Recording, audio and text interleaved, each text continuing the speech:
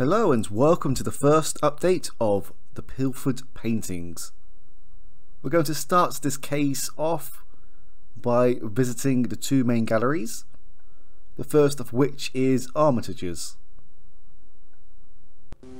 Mr. Armitage, can you give us the details leading up to and including the sale of the De Kuyper paintings?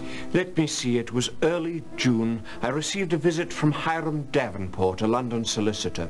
He informed me that his client had two new De Kuyper paintings that he wished to auction. I assume you checked the authenticity of the paintings? Yes, as always, everything was in order. He had in hand a certificate of authenticity signed by Pierre Dernay, the well-known De Kuyper expert. Did you meet Mr. Davenport's client? No, I dealt only with Mr. Davenport. What can you tell us about the auction itself? Mr. Davenport's client set very strict conditions regarding the sale. The auction had to take place on July the 1st, and the public announcement was not to be made until June 23rd. Just one week to prepare. And as if that weren't enough, Mr. Davenport informed me that the paintings were to be sold as a pair. A pair! Odd. Wouldn't the seller be able to fetch more for them if they were sold individually? Unquestionably. It was a strange request. And how did the auction turn out? Due to the short public notice, many of the big bidders did not show. Mr. Brady Norris, curator of the National Gallery, was the successful bidder, as you know. I must admit that the paintings brought more than I had expected.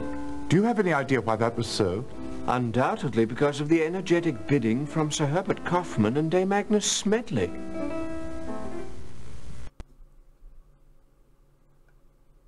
So, Davenport has returned in this case. That was quite unexpected. Next up is the National Gallery. There were four of us on duty when the theft occurred. Our shift starts at 4 p.m., and upon our arrival, we prepare the gallery for its closing at 5. Now, on the day of the robbery, by a quarter past 5, all the employees of the gallery had left for the day, with the exception of Sir Simpson and Mr. Norris. Was that unusual? No, sir. It is their custom to remain until the gallery is secured. I personally let Sir Simpson out through the main entrance at half past 5. Mr. Norris stayed on because he was expecting a delivery. What time did the delivery arrive? I'd say it was a quarter to six when our Cummins and Goins wagon arrived. Charlie and I helped Mr. Norris and the delivery men unload one large crate and two smaller ones. Do you know where these deliveries were from? Well, I'm not sure about the larger one, but the two smaller ones were from Jardines. What happened after the crates were unloaded? The deliveryman left. Charlie locked and barred the loading dock door. Mr. Norris went into the storeroom to check his shipment, and I returned to the guardroom. Did you see him open any of the crates? No, sir, I didn't. What happened next? At half past six, Mr. Norris informed me that he'd locked the storeroom and would be leaving for the evening. And you let him out? Yes, sir, through the main entrance. Then I made my rounds through the office wing, checking all the doors to make sure they were secured. And how did you spend the rest of the evening? Looking after my rounds. I took the 11 clocker through the east wing.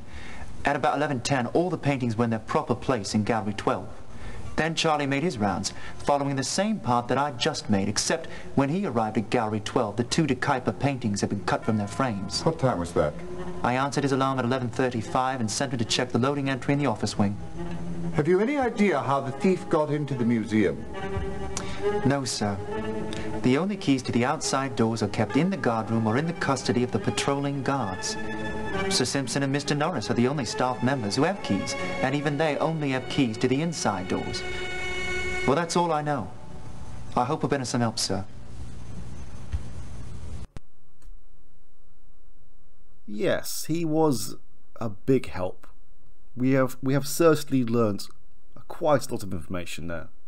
Anyway, let's go to the French embassy next.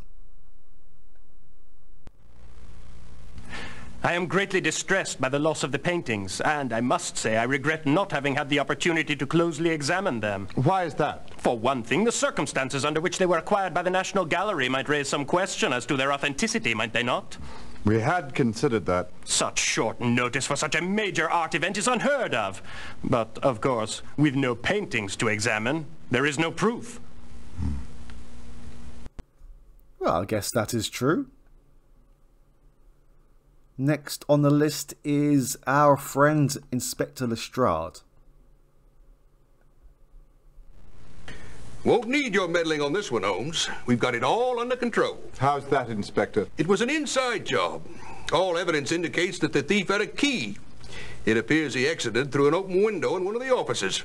We're checking out all of the guards and the gallery staff. Have any suspects? Uh, not at the moment, uh, but we'll get our man, I've no doubt. As much as he was short with us, he did reveal some evidence that we didn't know before. The last person on the list on this update is Langdale Pike. Ooh, my poor head. I believe I overdid it at Dame Agnes Bash last night. Did you hear anything there that might be of interest to us? I heard many things, Holmes, mostly from the chattering mouth of Pierre Donnet, world-renowned expert on De Kuyper. He has managed to do shockingly well for himself, considering 20 years ago he was a starving artist. But then his ship came in. Whatever do you mean? In 1872, he discovered the first De Kuyper in a church attic in Brussels. Soon after it sailed to Rijksmuseum in Amsterdam, he began a whole new and extravagant life. I suppose that's why he can afford to keep a luxurious suite at the Langham Hotel. Did his discovery of the De Kuyper catapult his own work into the spotlight? Hardly. Ooh. In fact, Donnet has never sold a painting done by his own hand. And there we have it for this update. Voting is open again. Good luck. Take care. Bye bye.